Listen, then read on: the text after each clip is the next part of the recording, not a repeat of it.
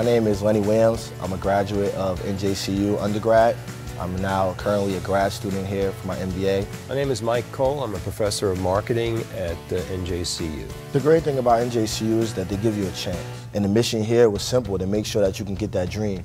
And the professors here helped me do that. Lenny used those experiences working with me and the other students in the class. So he's a great example of what's available. It's called opportunity. They gave back to me. It was amazing. Great mentorship. I was able to get a career now working at a big Fortune 100 company. Once I became as a counselor here at New Jersey City University, I started speaking to different students, motivate other kids that are just like me, and I love it. Lenny's one example of many that I could cite of people who have left here and gone on to professional success and credit their experience here at NJCU. I love this university. I love this campus. I love this program.